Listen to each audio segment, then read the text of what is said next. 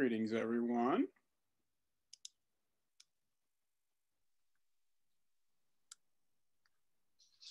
Should we go ahead and, and get started?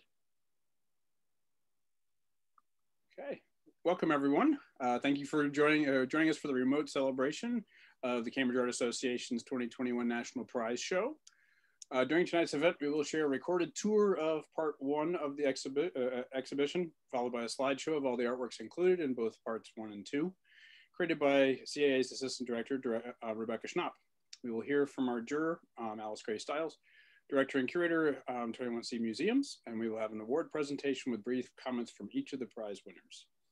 Before the end of the event, we will have time for breakout rooms where you can socialize with the participating artists and each other. I'm looking forward to seeing all the excellent art. Uh, National Prize Show is always uh, an excellent showcase for art. Candace? Hi everyone, I'm Candace Bencari. I'm the program manager here at uh, CAA. Um, before we get started, I'd like to remind everyone to remain muted during the speaker portion of this event. Um, and that you can see in the three little dots in the corner there. Um, you can mute yourself. Uh, Please use the chat to let us know where you're joining from, as Rebecca mentioned uh, to begin with, and if you are an exhibiting artist or if you are here to support an exhibiting artist.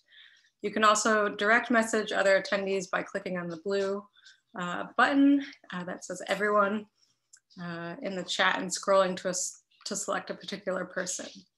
If you have any questions during the artist talk, please use the hand raise function under the reactions button to let us know if you have a question. Uh, finally, this event is being recorded and we will be posting to CAA's YouTube channel next week. Uh, as we begin, I would like to take a moment to acknowledge the land we are gathered on, both literally and virtually. Tonight, uh, we join you from the unceded lands of the Ma Massachusetts people. I join you from the traditional lands of the Pawtucket, Pawtucket tribe. Uh, as an organization, the Cambridge Art Association acknowledges the painful history of this territory and we honor and respect the many diverse indigenous peoples still connected to this land on which we gather. Um, I am joined tonight by CAA's director, Erin Becker, and assistant director, Rebecca Schnapp. And I will let them take it away.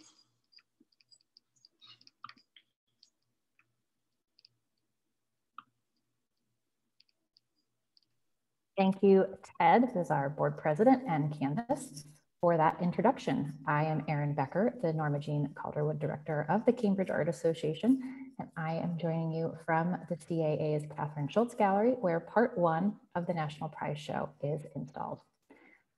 In a moment, our Assistant Director, Rebecca Schnapp, is going to play a uh, virtual tour of the exhibit uh, with a slideshow featuring both the first and the second parts. And then after the video, we're going to hear from our juror, Alice Gray Stites, who is the director and curator of the 21C Museum. For now, here's the video.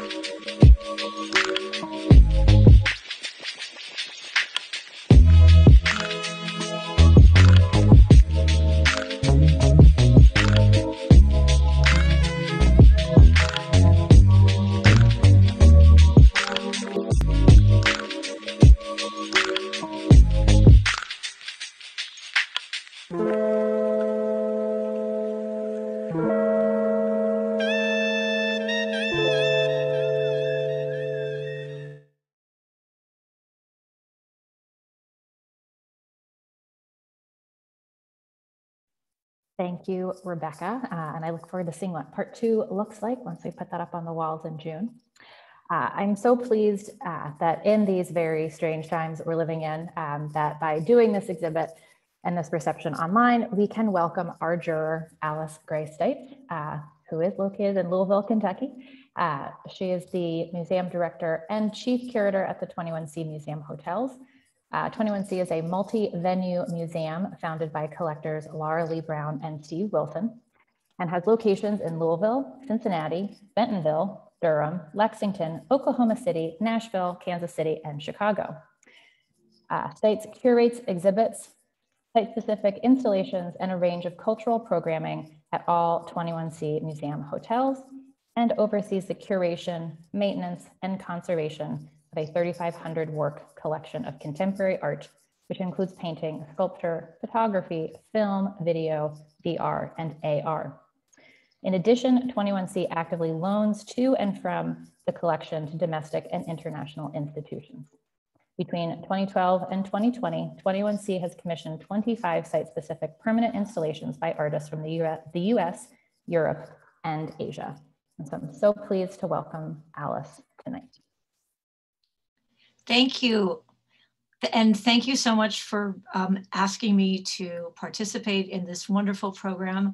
Um, I was speaking earlier um, with uh, Rebecca um, and and Erin and, and saying that uh, what they what Cambridge Art Association does for emerging artists and um, community engagement. It feels so familiar and um, it's part of 21C's DNA to be engaged in supporting artists in each community um, and connect and, and making connections. Um, so I feel very at home, even though I've never uh, met any of you and um, would love to be in the space. Um, but in the meantime, um, I'm I saw in the chat that uh, there's a question about whether I would speak about 21C, and I'm happy to, um, to take questions if you want to learn more about that program. Um, so I will uh, just to share with you my uh, a few thoughts about this exhibition. I was so impressed with the range of materials and ideas, subject matter, approaches um, to reflecting on what is happening in the world around us today.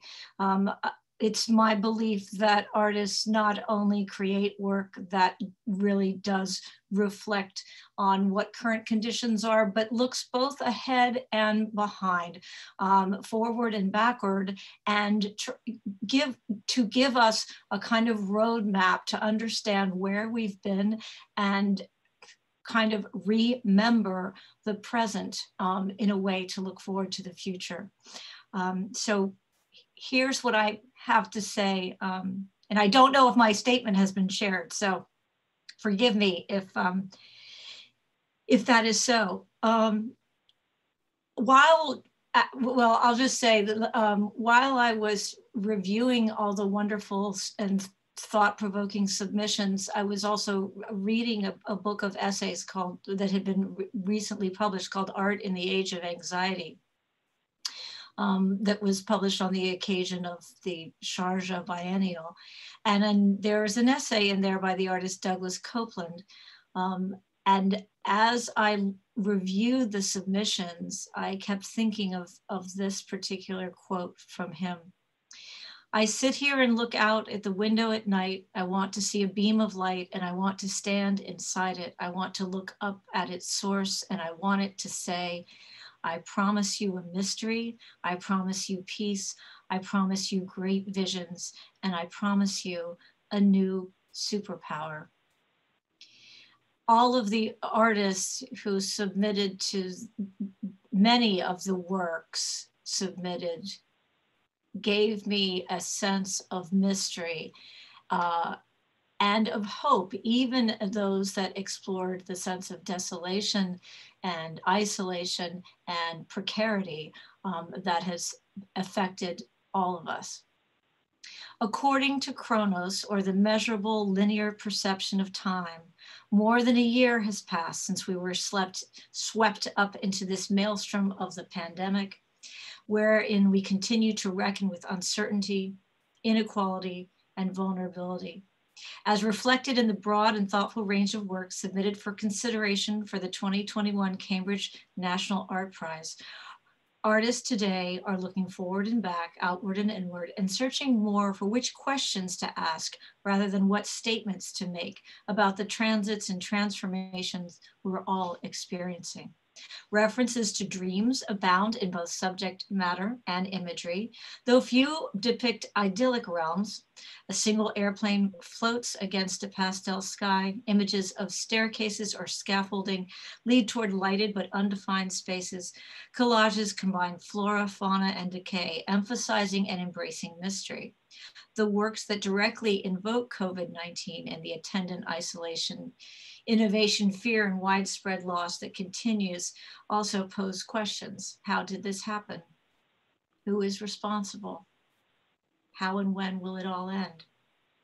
Indeed, time itself seems to be interrogated in much of the work. A number of the artists investigate personal or collective history, both documented and imagined, to explore and reveal the complexity of cultural identity looking to the past for a way forward into a future that remains uncertain, yet will hopefully be more inclusive. These artists envision portals through which new and old superpowers may emerge. I want to say congratulations to all of the artists whose work is shown. It's great to see so many of you here tonight. Um, and I am looking forward to spending more time learning about your work. All right, thank you, Alice. So now we're going to get to the part that everyone is always excited for, the award presentation. Um, I don't know, if, Rebecca, if you can pin Alice and I together somehow on the screen. Oh, now I'm in the spotlight. Oh, okay. Um, so Alice, do you want to, if you want to read off the names, I can hold up their their prize winning certificate and then uh, Rebecca can have them join us okay on our Great. virtual podium. So our third prize winner is Chelsea Bradway for her work Heroine Congratulations, Chelsea. Unmute yourself, Chelsea. Sorry, thank you. this is so exciting. Thank you so much, um, Alice. This is like, I verklempt. um, so what's interesting about this photo is it was kind of a fluke in a sense that I was, I'm doing a woman empowerment shoot of a hundred women and I had no specifications. I had to say, come up and give me what makes you feel happy and empowered and beautiful or not beautiful. And um, this woman came in with with her friend, and I always have wings hanging in the studio. And she's like, "Can I put on these wings?" And she did, and she just kind of moved around.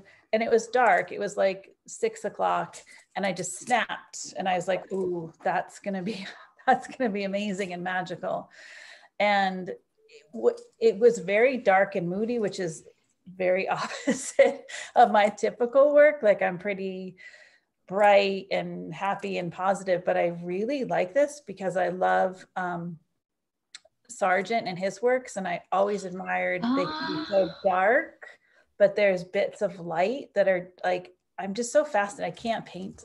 I wish I could. You all are amazing painters, and um, I just it just kept reminding me of him and i was like wow i did this.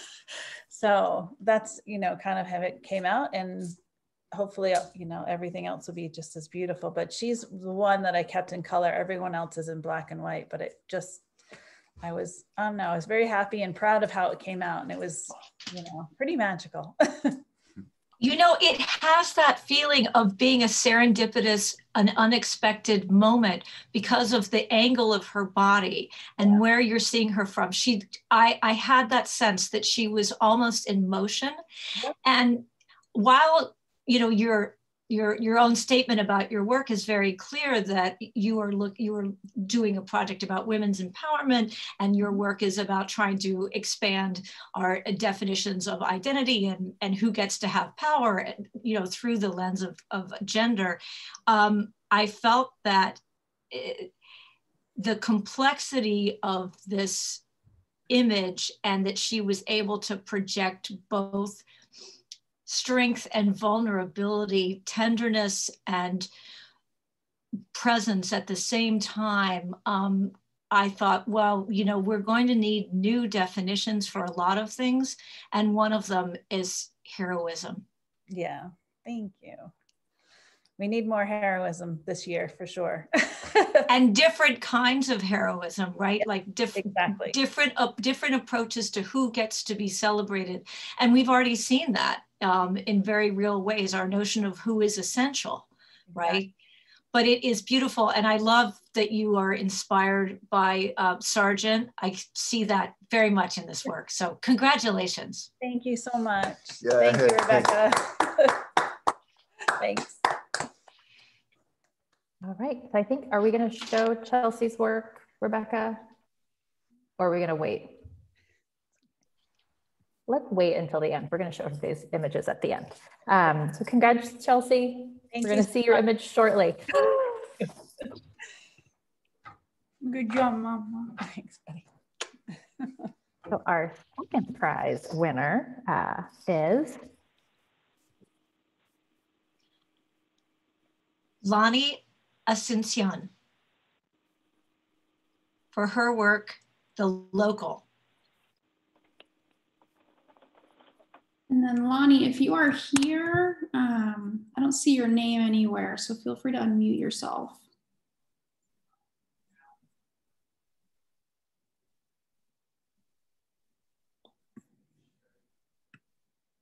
It doesn't look like Lonnie is here tonight. Well, congratulations to Lonnie. Do you have any comments about Lonnie's work while we're here without them? Well, I kept coming back to this one because I love the way that something so simple, a pineapple, a pet, well, this one is a six year petrified pineapple inside a wooden box that kind of looks like a pallet or a you know a shipping pallet um, can say so much you know we need our this is a there are a number of themes that have come that come up in the show um, and different artists work that she combines beautifully. The evolution of our relationship to nature um, the journey of the immigrant the complexity of cultural and gender identity and the um, and the notion of storytelling she's using these simple elements to get us to, to to to evoke or to reference the history of the, the pineapple in the context of exploring her own identity as a queer multicultural third generation Filipinx artist, as she says. And these are all um, conversations that are happening. And I love it when an artist can distill a whole host of ideas and references into very simple, um, using, you know, simple and limited multimedia materials. So congratulations to um, Lonnie, wherever she, wherever she may be. yes, congrats, Lonnie. And um, with our next, our next award winner, um, so we're going to show all the images uh, afterwards and have the artist give a few comments. So um, when our first prize winner is announced, we will have you speak very briefly, but the, the longer discussion that uh, Rebecca had um, mentioned to you will happen after we present all of the awards. So with that, our first prize winner is Roya Amigh for Welcome and Entertain Them All. Uh, hi. Hi, Roya. Hello. Hi. Hi, Alice. Hi, Rebecca. Hi, um, Candace, Erin, and everyone. Um, well, I'm excited. Um, uh, thank you so much for picking my work. Uh, so um, welcome and entertain them all. Um, I'm going to talk about the process. So um, first, uh, I made uh, many small drawings uh, by uh, gluing thread on paper. So everything, all the drawing is made by thread. There is no line, there is no ink. And the imagery comes from Persian miniature. So that was my references, uh, the visual references. So I recreated those uh, small drawings by uh, different part of Persian miniatures. Uh, and then when I was done with the drawing, I start layering papers. I put lace, I put thread in between. I start shaping um, vagina structure. And then I put uh, drawings between the structure. And when I made the whole piece, I start cutting out the pieces into many fragmented, many fragments. Then I, then I stitched those fragments back together. And the concept of this work is about uh, sexuality, and it comes from the story of um, the story uh, which are shared to me um, uh, from the women I know, mostly from uh, Iranian women. Uh, I'm from Iran, actually. Uh, so the concept is about the sexuality and how um, when we want to explore our sexuality. Also, there is uh, so much pressure from uh, society towards uh, sexuality of women. And I inspired by uh, the 12th chapter of uh, Quran, Quran. It's a story of Joseph, a story of Joseph and his lover. But his lover, uh, she was married, but she fell in love with Joseph. But at the end, God forgave her and gave Joseph to her, and they had children and happy ended. So, uh, but people they have different interpretations from that story. But that was the interpretation I I got, and I worked about it.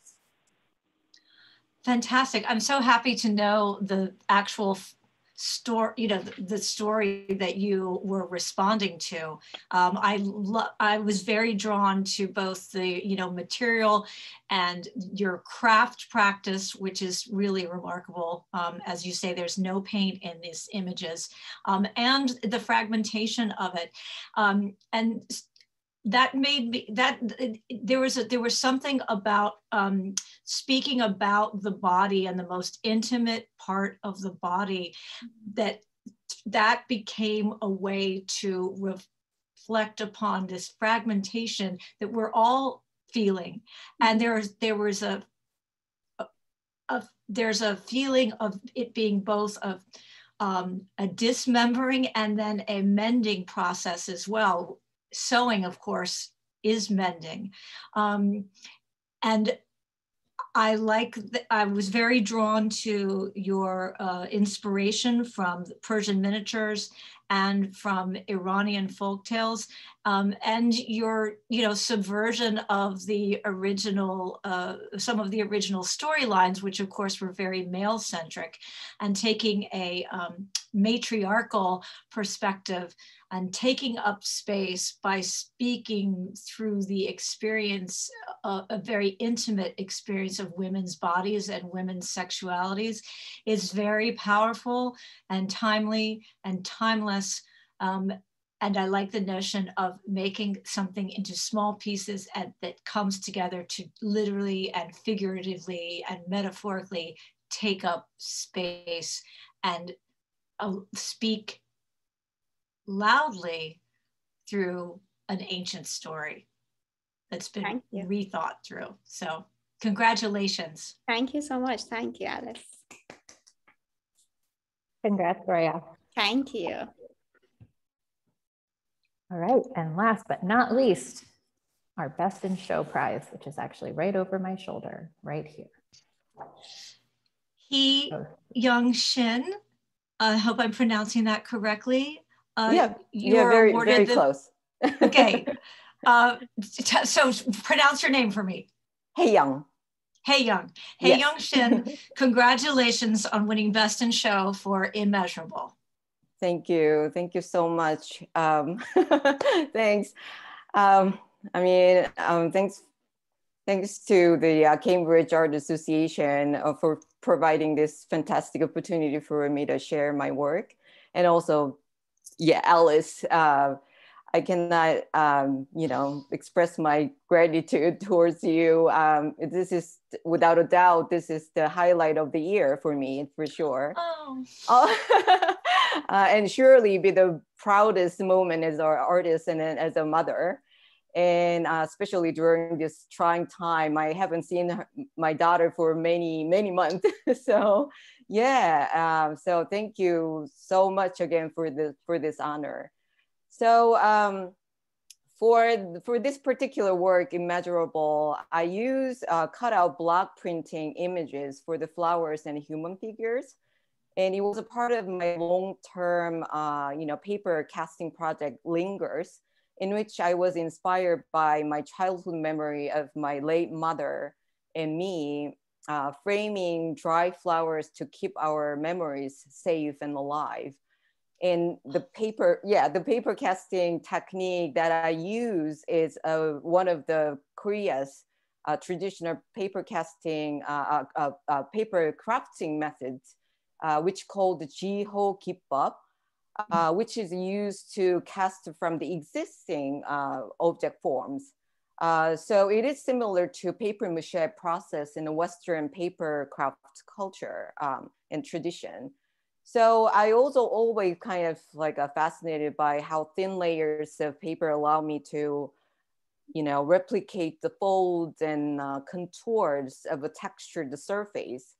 And um, I always captivated by how paper uh, molds and then keeps the shapes as if it is a trying uh, to save the memory of where they were placed.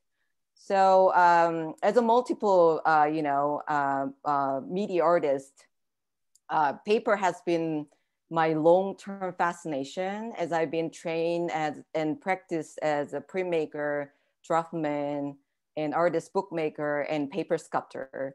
And i also grew up in a korean culture where the paper is not only just a material for drawing or the uh, writing but also to use for creating home goods furniture and even to use as an architectural material. So from that upbringing i see the paper as an embodiment of culture, uh, as a various paper exist in different civilizations that can hold and interconnect experiences and memories like human skin.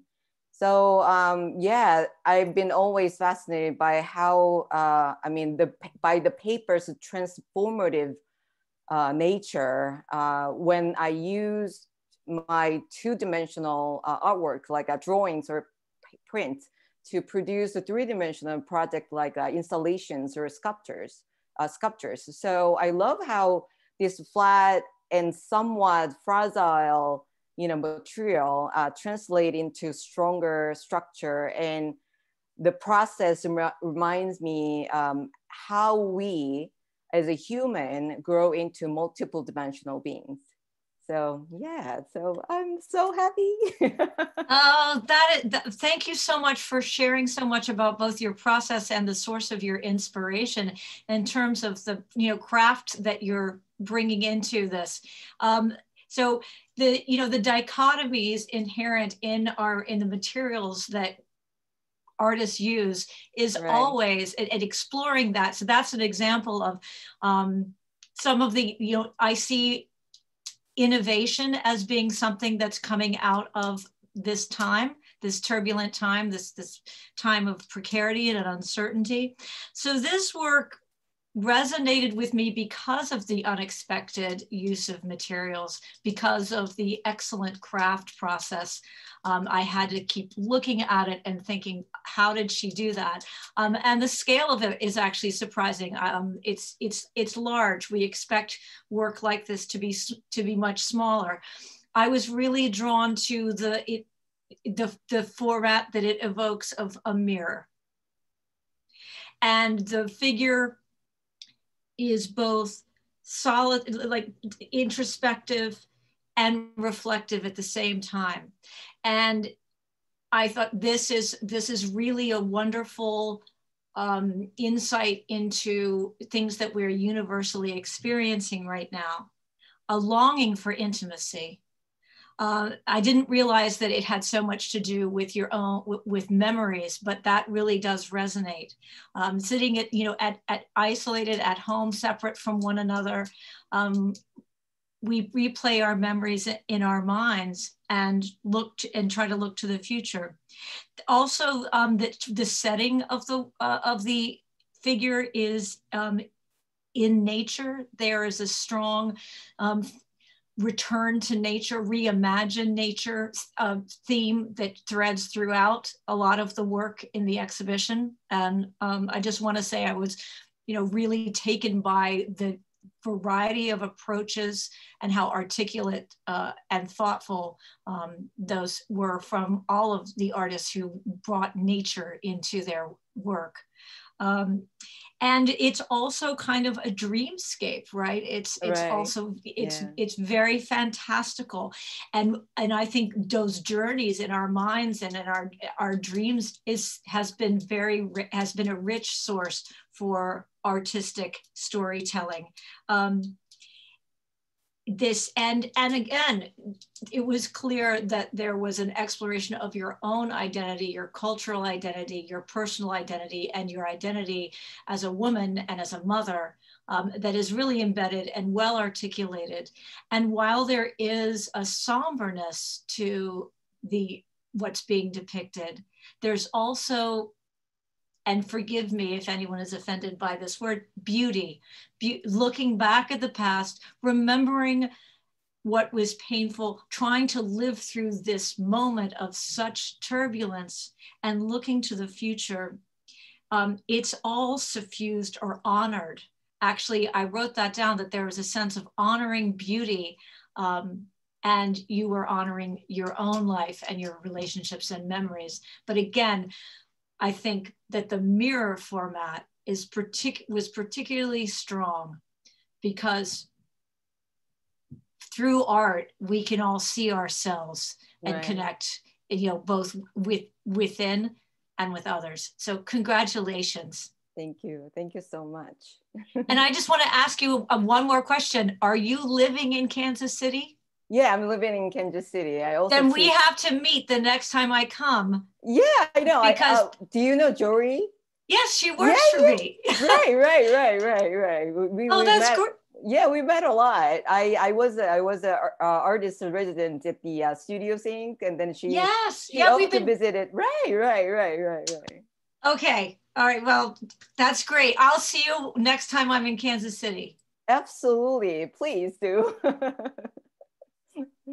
Wonderful. Well, congratulations. Um, we're going to show the images, and thank you, Alice, for all those amazing comments. Um, we're going to show all of the images from the prize winners. And if folks have questions for the artists or for Alice, we ask you to put them into the chat um, and we will moderate that and read those questions out. Um, but this is Chelsea Bradway's work.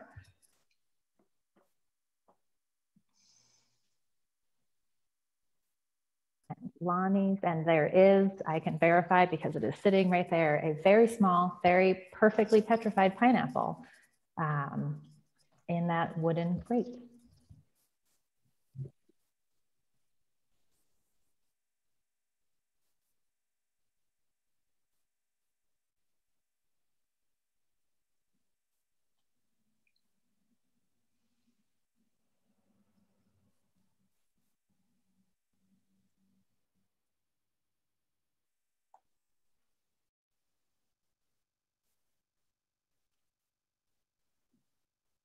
If anyone has questions for the artist or for Alice, uh, please just type them into the chat or you can type into the chat that you have a question. Um, let us know.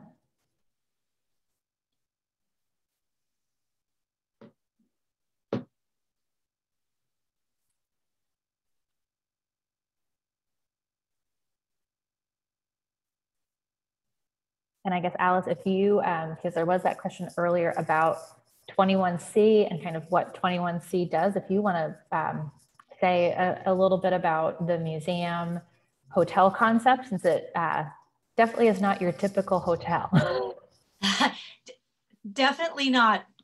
So 21C was founded in 2006 um, as Erin said by two collectors, Laura Lee Brown and Steve Wilson, who are passionate about contemporary art and about preserving the land by investing in the urban core um, and renovating historic buildings. So it was only meant to be a hometown project for Louisville.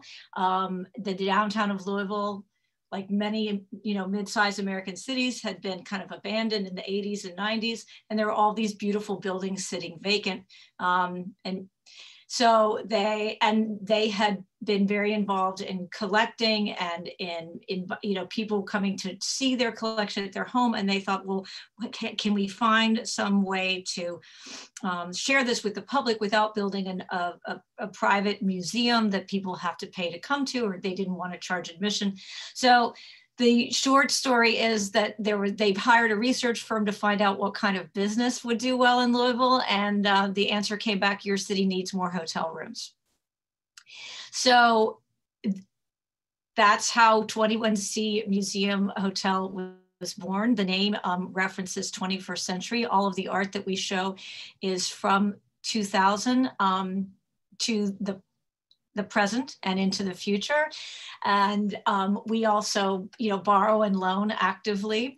Um, we it, it, so in uh, in number two opened in Cincinnati in late 2012, and in 2020 we opened number nine in Chicago. All of those happened because developers and investors from these other cities came forward after seeing the unexpected success of Louisville, um, 21C Louisville. It's really revitalized downtown.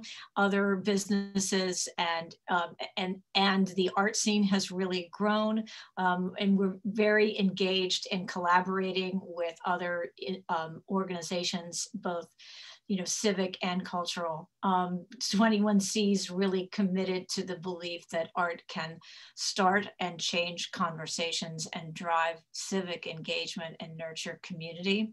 Uh, we are both, you know, so we have a dual emphasis on the local and the global. Um, and we commission a lot of um, site specific works while we're in the design phase of renovating these buildings. We look for kind of unexpected spaces like elevator lobbies. Erin, you might remember playing with the yep. Camille Utterback texturing projection.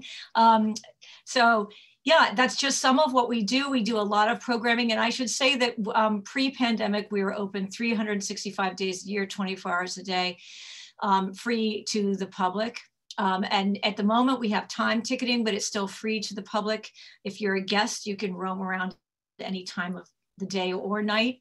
Um, and but at the moment you can make a reservation to come in. We do a lot of tours, um, film screenings, poetry readings, all sorts of programming, and um, we're doing things online now. So uh, you can sign up to join our newsletter. Um, next week, I think there's something online happening uh, in both Kansas City and Louisville. Um, there's a, a, a, collaboration in Kansas City we have with Studios Inc., which um, our prize winner mentioned, and Erin Dziedzic from the Kemper will be speaking about her practice as well as doing uh, speaking look with in conjunction with Studios Inc. And in Louisville, um, we have a collaboration with uh, a writing a, a MFA program from Spalding University, where writers come in and respond to the work of our in our in a current exhibition, um, which I'll be speaking about, and that is a new group show um, called What Lies Beneath, featuring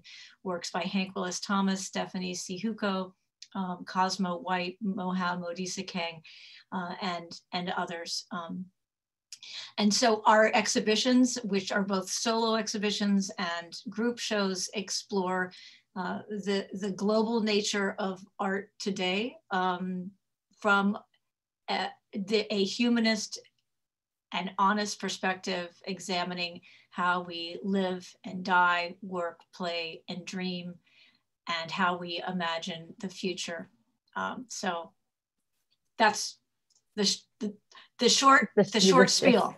yeah, no, I was I was going to ask you what what um, you know what was coming up at any of the spaces, so you answered my question. Um, you know, I've I have visited 21C in Louisville many times um, and have seen some amazing artwork there. Have discovered new to me artists in that space, and so if you if folks here find yourselves in any of the nine cities that have 21C location, nine, right? Or is it 12? Did I Yeah. the number wrong? Nine. Um, definitely go check it out. The restaurant's always great. Um, the art is amazing.